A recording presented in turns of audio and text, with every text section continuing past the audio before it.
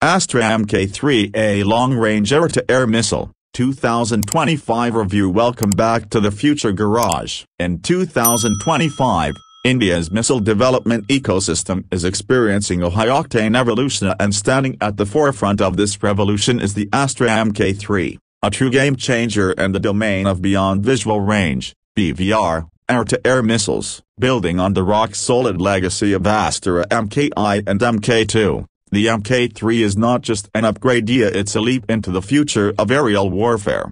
Engineered by DRDO in collaboration with Bharat Dynamics Limited, BDL, the Astra Mk3 is built to dominate. With a staggering range of over 160 kilometers, this long-range missile is a silent predator designed to strike enemy aircraft long before they even know they're being tracked. Powered by a solid fuel-ducted ramjet, SFDR, propulsion system, the missile offers sustained high-speed flight, improved fuel efficiency, and longer burn time bringing India closer to competing with global heavyweights like the MBDA Meteor.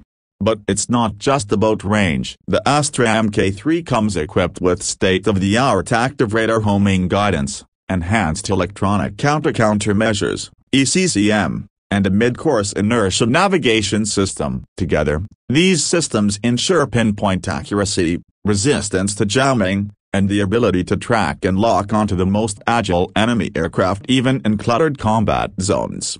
Visually sleek and aerodynamically refined, this missile blends cutting-edge design with battlefield practicality. It can be integrated seamlessly with platforms like the Su-30MKI, Tejas Mk1A, and Rafale giving the Indian Air Force a deadly edge in any air superiority mission. In 2025, Astra Mk3 trials are hitting full swing, with flight tests showcasing successful engagements across multiple altitude bands and hostile target simulations.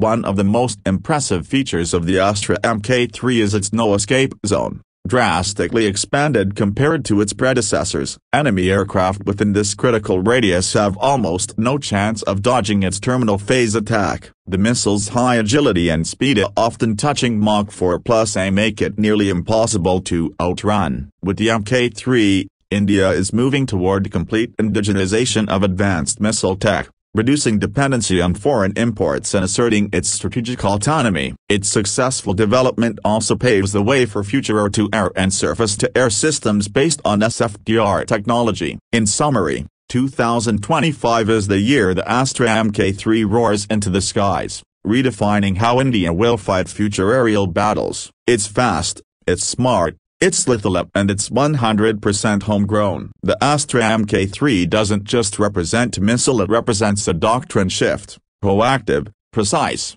and powerful. Welcome to the era of dominance. Welcome to the Astra Mk3. Let me know if you want. YouTube titles, video description with hashtags, keywords and SEO tags.